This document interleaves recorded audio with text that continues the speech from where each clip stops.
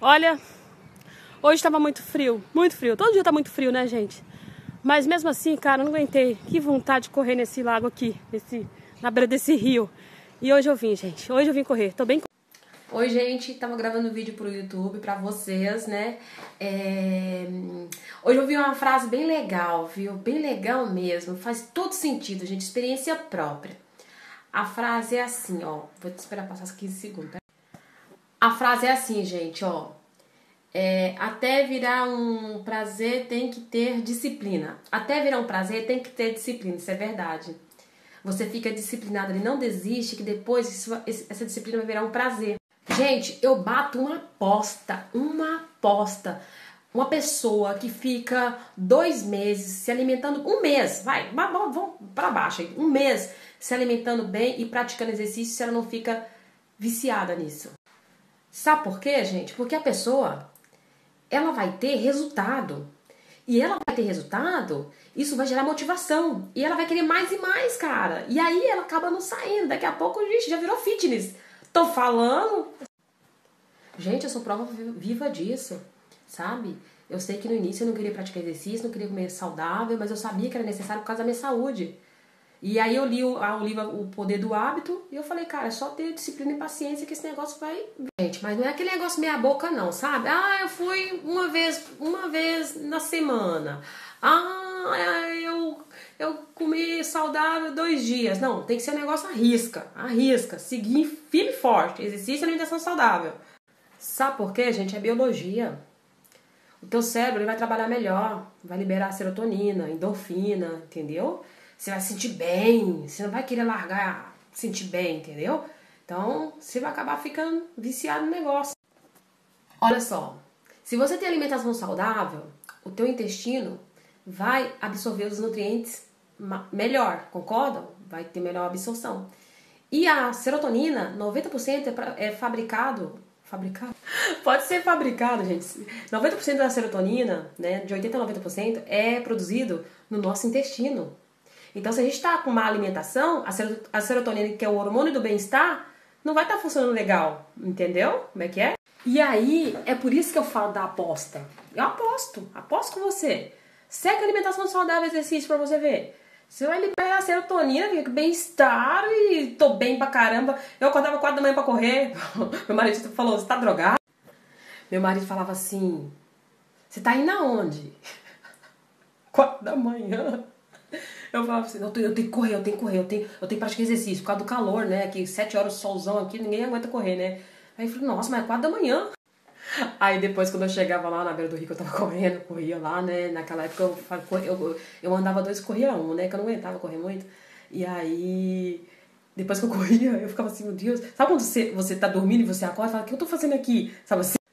Aí, gente, eu entendi perfeitamente como é a força do hábito. A nossa vida, nossos, a nossa vida é tudo baseado em hábito. É tudo é fundamentado em hábito, né?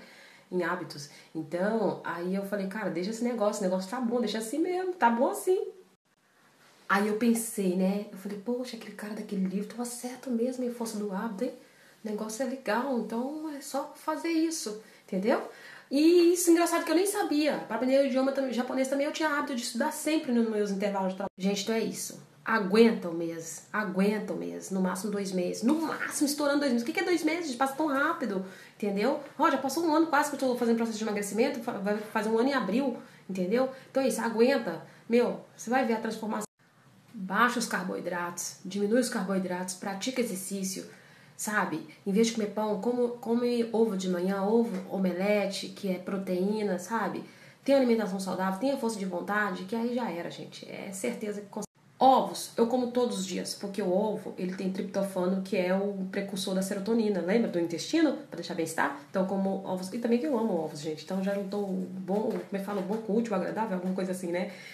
É, mas assim, como é, eu tô um pouco enjoada de comer ovo todo dia, omelete, por exemplo, hoje eu comi ovo é, mexido com queijo de manhã, né?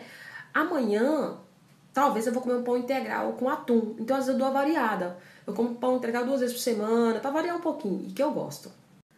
Mas eu tento segurar um pouco o pão integral, porque o pão integral, apesar de ser integral e ter fibras, gente, é, ele tem carboidrato igual o pão normal, igual o pão branco. Então, como eu faço uma, uma alimentação mais low carb, baixo carboidrato, eu procuro controlar. Por hoje é só, meu povo. Só queria deixar para vocês aqui que todo mundo é capaz, gente. Todo mundo.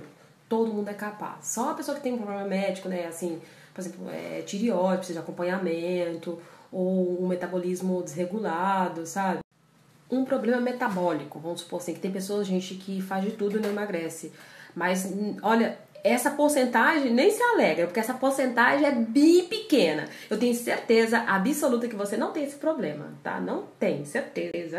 Ô, gente, pelo menos as pessoas que eu falo, assim, que falam assim, olha, eu tenho problema, sabe que eu tenho problema na tireoide? Aí eu falo assim, como é que é a sua alimentação? gente, eu sou experiência, igual eu falo, eu sou uma experiência viva disso. Eu já falo, não, não você não tem problema de tireoide. Sabe o que eu falava quando as pessoas falavam assim, mas por que, que você, você é gordo assim? Porque as pessoas não falam assim, né? Assim, por que, você não emagrece? Não fala que você tá gordo, por que, que você não emagrece? Falo, não, é que eu tenho problema de ansiedade, meu metabolismo é muito lento, né? Mas não, gente, eu comia muito doce. Eu comia muito arroz e feijão também, gente. Muito, assim, não era pouquinho, não. Três pratos de arroz. É, o que acontece é o seguinte, gente, a gente, é, a gente engana a gente mesmo, entendeu? A realidade é essa. Hoje eu sei disso. Eu vejo meus vídeos, meu olho enche de água, acredita? Esses dias eu vi um vídeo que eu tava comendo no churrasco na beira do rio com meu marido, né? E. Nossa, cara. É, minha mente, né? Meu, meu olho encheu de água. Eu chorei. Chorei. Só de falar, gente, meu olho enche de água, porque era algo assim, irracional, sabe? Algo irracional, entendeu? Assim, aquela, aquela falsa alegria, né? Não é que a minha alegria era falsa, né? Eu tava feliz ali no momento mesmo, né? Mas eu tinha desistido de mim, entende? Então eu só achava alegria em comer, entendeu? Só ali tinha pra mim alegria, entendeu? Quando eu falo desistir, gente, não é desistir da vida, não seria isso, né? Mas eu tinha desistido de emagrecer. Eu achava que eu não tinha mais jeito. Eu não fazia noção dessa vida que eu tô vendo agora, de alimentação saudável e exercício. Eu não tinha noção disso, entendeu? Sabe o que me doeu muito naquela hora que eu vi meu vídeo? Eu vou mostrar pra vocês, eu procurei aqui, não achei pra mostrar pra vocês, que eu deixei guardado, né? É que eu imaginei que tem várias pessoas naquela mesma situação que eu, sabe? Aí, aí meu olho enche de água mesmo. Por isso,